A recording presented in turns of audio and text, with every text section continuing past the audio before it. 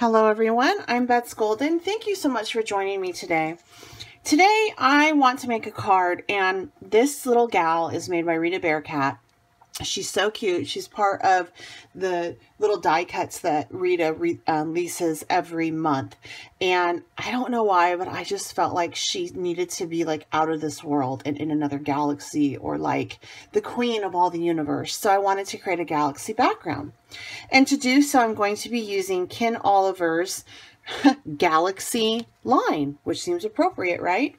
Um, I am working on his craft mat because it really works best for color burst. However, any craft mat will do if you don't have one of these. I also caved and bought his water bottle because the mist that it lays out is perfect for the color burst. In addition to that, I'm going to be creating some stars with Dyan Reaveley's white linen.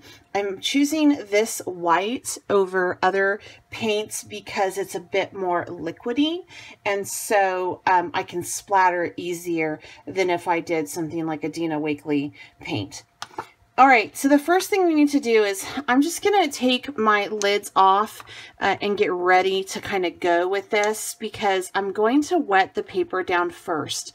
Now, when you're working with Color Burst, you don't have to wet your paper down first. You can totally wait until the end, but I like it because it kind of sticks and I can see the color moving, and especially with this particular line because it, it there's dark colors in it, you know, and so in deep space and then night sky. So these colors I really want to not necessarily control, but see how they're interacting so I know where else to place the other colors so it doesn't get overwhelmingly dark. The paper that I'm working on is actually Ken Oliver's um, watercolor paper that's been stitched on a piece of kraft. I found this through Canvas Corp Brands. All right, so I'm going to open the card up and naturally it's probably going to go out of my white, which is totally fine. It'll be a different look. And I'm just going to mist off, spray my water bottle off and get the right um, nozzle on it. Make sure I have a right, a right um, stream coming from it because you can actually have a real intense stream on this. And I'm just going to go ahead and lay out some water. And that's really all I need for now. And I'm going to start with my dark color first. And you just kind of spank its little bottom. That's the best way that I can, that I like to call it, is I just tap the little bottom. All right, and that's already starting to move. And then this deep space. And that's kind of about as much of the dark as I want. And now we're going to go ahead, I'm going to put in some Jupiter. And once I re-wet this again, it's going to move even more. And then I'm going to put in some solar flare.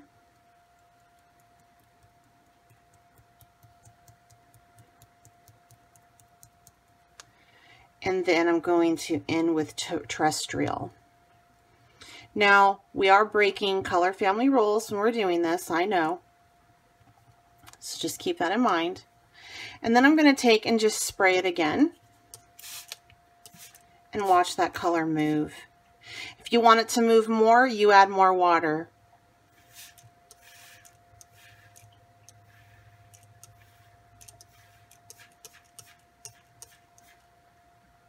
All right, that pretty? And then you can pick it up and, and manipulate it. See how pretty that is? So I'm going to pick it up a little bit, manipulate it around, move it kind of around. And then I'm going to add in some of my liquid metal and platinum. And I like to do this kind of at the end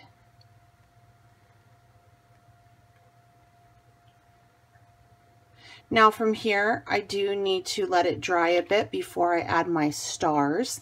And what I mean by that is I splatter my white paint because it doesn't quite look like a galaxy yet. I need to definitely get some stars in on this.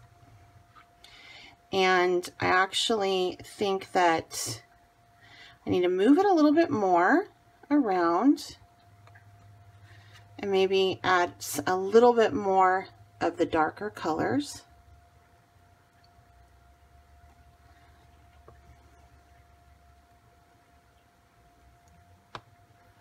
And look how that just totally starts to move. So I'm just going to sit for a minute and see. And then we're going to spray it. So from here, I'm going to take a heat gun to it a little bit, move it around and dry it. If by chance the intensity of this color gets to be too much for you, you can always lay a paper towel on it when it's wet and it will totally pull up some of that color. He does the Dyan Reaveley thing where he rolls the paper towel over it and it picks up some of that color. This is dried a little bit with the heat gun and also sitting out. The next thing I do is I want to add some stars and I'm just going to splatter some white paint on this. And again, I'm using the Dylusions white linen. I don't have much left. This probably is going to be my last run with this, but that is what it looks like so far. And you can kind of see how it's galaxy-like, but it definitely needs your stars in it. So what I'm going to do, and this paint is already dry, so I'm just going to add a little bit of water to this. And, oop.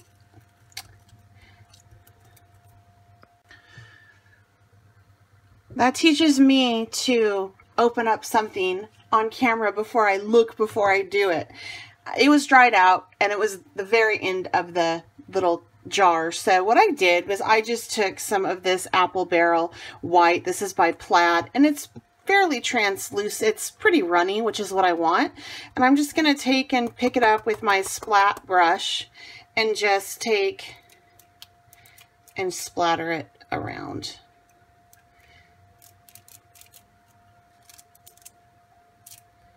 And that's all it takes. This needs to dry, and then I'm going to put my little gal on here.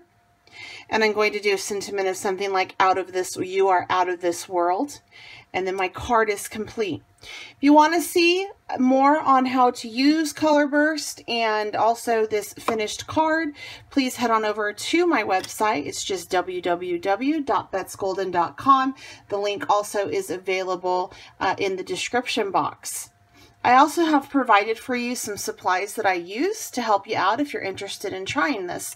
Please feel free to ask any questions or leave any comments down below. Give this video a thumbs up if you enjoyed it and feel free to share. I would so appreciate it. Make sure you subscribe if you haven't done so. Until next time, happy crafting.